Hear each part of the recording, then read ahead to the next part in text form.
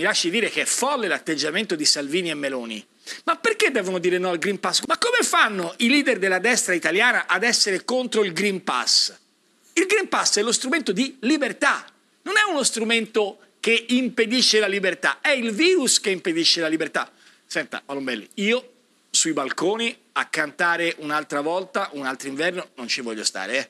Cioè l'idea di tornare alle zone rosse, ai lockdown, quindi siccome l'unico modo è vaccino, vaccino, vaccino, quindi io sono un pro-vax scatenato, e contemporaneamente Green Pass, per dire di no al vaccino è inseguire come posso dire, una retorica antiscientifica che non si spiega.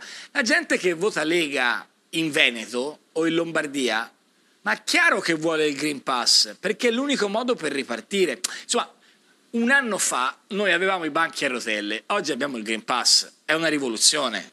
Cioè, i banchi a rotelle servivano per far allora, giocare qualche in funzionario questo libro è tutto Ora ricostruito